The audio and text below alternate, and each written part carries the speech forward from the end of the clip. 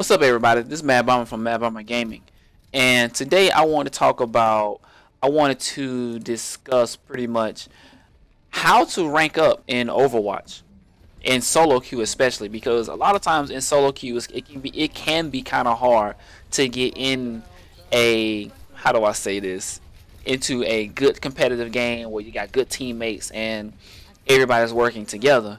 But it's not always all about the teammates. Sometimes it's mostly about you you as the individual player sitting at your computer, your PC, or your console, and you're like, oh, I want to rank up, I want to rank up, but you know, it's like you don't know how to rank up exactly, and you're just sitting here like, man, I'm losing all the time. I'm doing this, I'm doing that. You're getting frustrated, this and that. The way you rank up in Overwatch is, it's kind of, I don't want to say it's a simple concept, but it's a concept to where it's like, most likely the first thing, the tip number one, the, the first thing you have to do in Overwatch is be flexible. You really need to be flexible and you need to know how to play multiple characters between the three categories support, tank, and DPS. You need to know how to play all of them. Not all characters, but at least two characters in each category simply because you can't base your gameplay and be like, oh, well, I'm just going to play 76 this whole time. Well, I'm going to play Roadhog this whole, you know, every time you go into competitive because you're never going to win. I mean, you may win a couple games, but it's like sometimes, I mean, we all know in solo queue you have those games where it's like you have people that are sitting back and they're like, well, they're not going to change.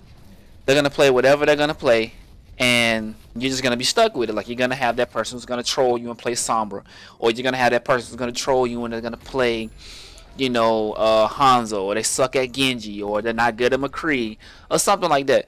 And and no, it's not fair to the team for that person to just to be stuck on that to be stuck on that character or that hero. But sometimes you have to know, you have to understand that, hey, all right, that's perfectly fine. If you want to play that character, then, you know, if everybody on the team wants to play a DPS, we need support. You can't necessarily win a game without support. So you have sometimes you as the person you have to look at yourself and say you know what? I'm going to be the one to be flexible and say you know what? I'll play a support. I'll play a tank. Nobody wants to tank? You be like well i'll just jump on D.Va. Or if nobody wants to play Rein then you jump on reinhardt.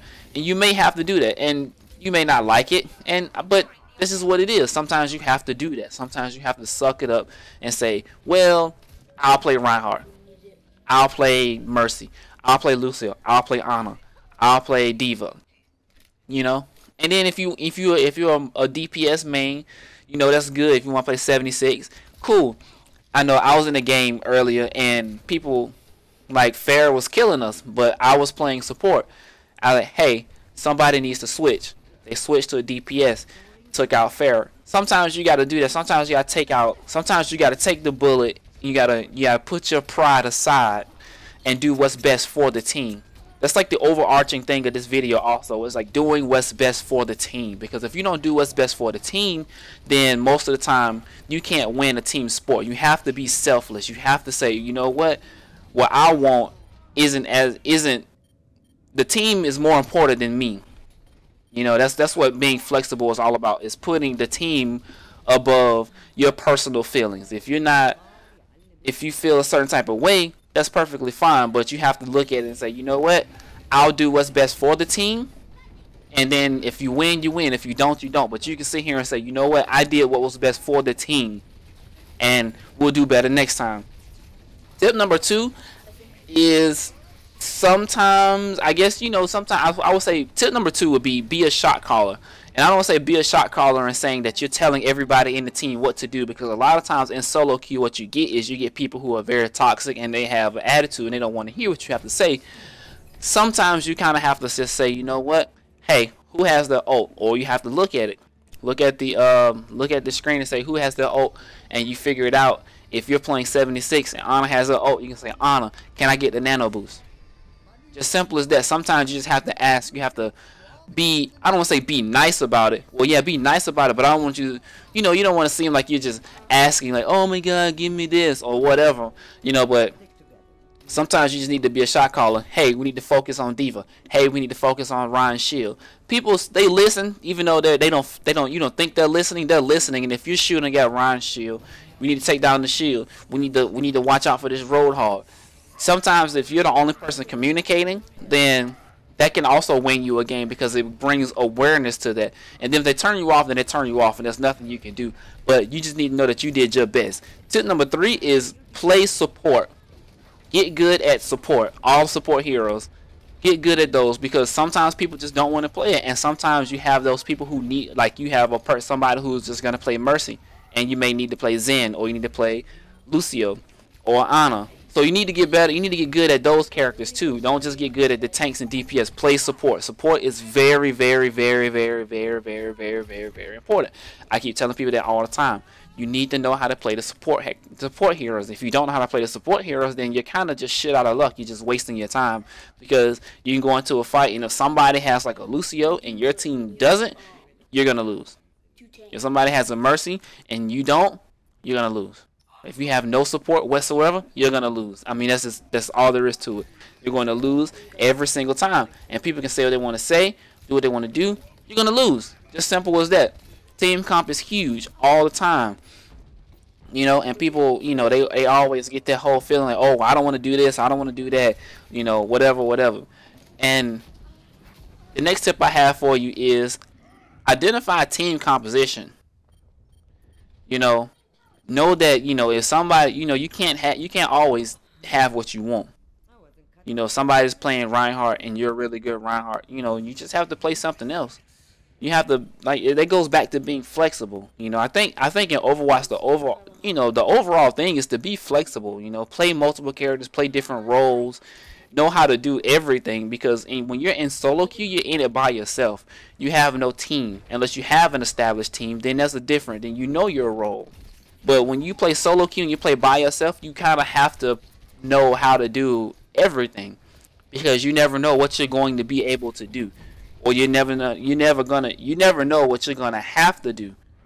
You have to be flexible in solo queue, and that's just number one. To rank up in competitive solo queue is to be flexible. You know, you can play this character, play this character, play this hero, that do this and do that. You know, play this role, play that role. You have to be flexible regardless. And if you're not a flexible person, then you're not going to rank up in, in competitive unless you play with a team. So you have to do that. You know, and also uh, the next tip I have for you is know when to back away from a fight. Also, if you if you notice that three of your teammates have died, get on the mic and say we need to back off and regroup.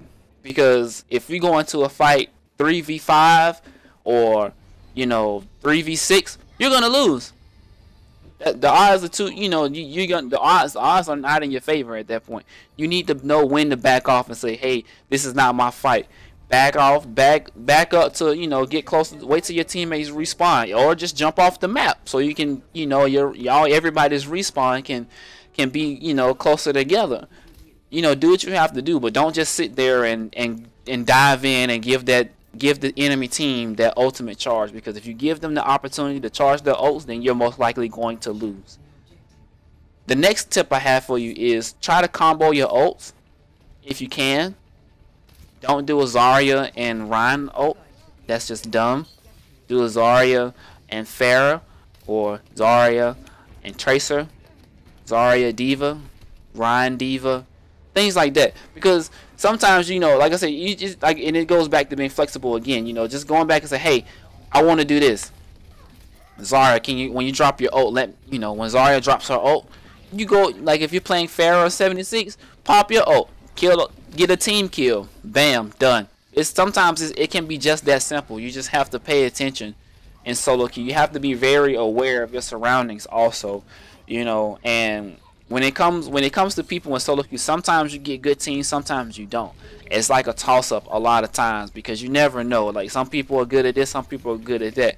You never know. And when you're in these lower ranks, sometimes people get pissy about about you know you playing whatever it is you're playing, and you may just have to.